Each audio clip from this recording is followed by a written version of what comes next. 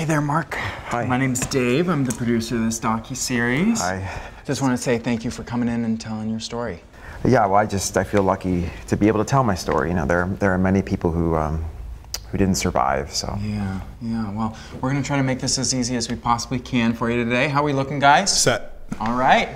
Let's go ahead and get started. Camera speeds. Sound speed. Sole survivor Mark interview take one Apple marker. All right. So, Mark, you were the only survivor on United Flight 48, a commercial jet that crash landed in the Himalayas in 2016. yes, Tell us about that moment you knew something was wrong. I was uh, I was sitting next to my daughter Elizabeth. We were watching Frozen. It's her favorite movie, and uh, I heard this loud bang, and the first thing that I thought was, we're about to die, and I gotta make a quick adjustment. The mic is rubbing against the shirt. Got it. Just hold tight one sec. oh, of course, sorry. Just hold this. I'm gonna hold yeah, it? just hold it really quick. Okay, is that your nipple? No. Yes, that's my nipple. Okay, not the mic. Okay. Actually, can you say that line for me again? We're about to die.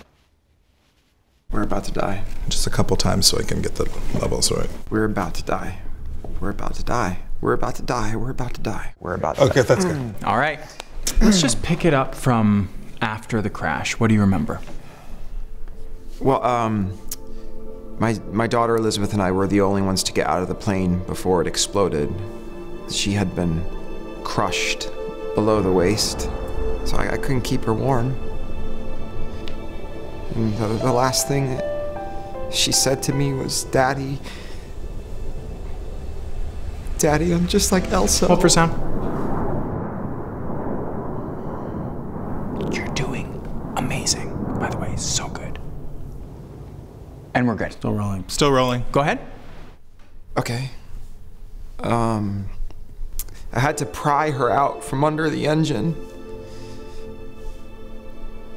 It was my fault that we went on that trip. It was my fault that she died. I'm getting a buzzing sound. Yeah. Did you guys hear that? Yeah, okay, Dad, can you uh, get over on your right hip just a little bit? You're really getting cut off in the frame. Oh, you know what? That's the AC. I'm gonna go turn it off. This? Yeah, okay, S the D, split the diff, camera turn. Yeah, a little more, a little more, a little more, more, more, more. Freeze. Got it. We're good. Got it. Let's just take it from that last thing you said. It's my fault she died. It's my fault she died. Wow. Heartbreaking. Uh, let's just skip ahead a little bit. So, to survive, you had to actually eat parts of your eight year old daughter. Yes. Tell us a little bit about that decision.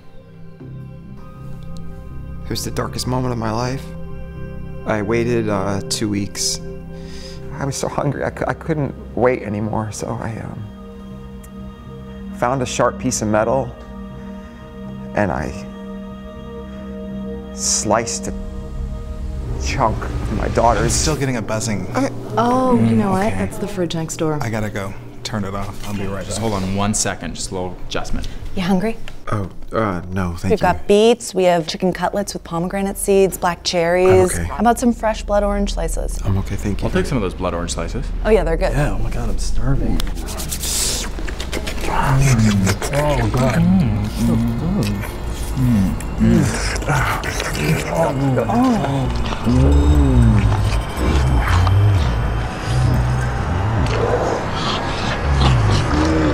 Okay, guys, we are all clear.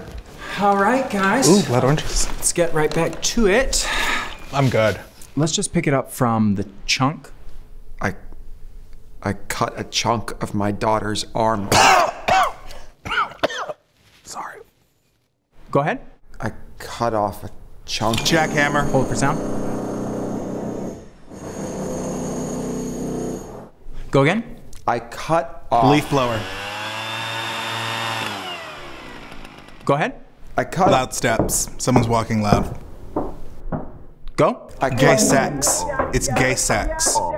Go. I cut.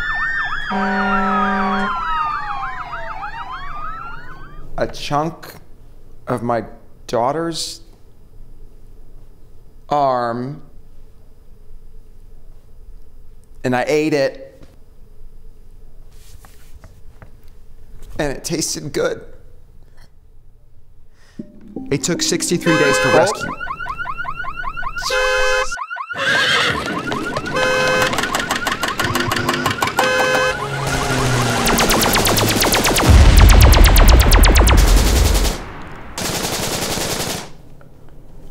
It took 63 days for rescuers to find me, and by that time I'd eaten my daughter's entire body, including her toes. And I kept asking God why he chose me to survive and not her. Why, God, why, why, why, why, why? Hold Go.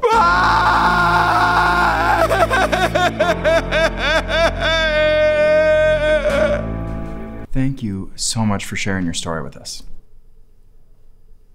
Did we, did we get it? Oh God, sorry, I wasn't rolling on any of that. Ah, Okay. Um, let's just do the whole thing a couple more times after lunch. Let's break for lunch, change our batteries out. Um, we're actually gonna have some beef carpaccio. Uh,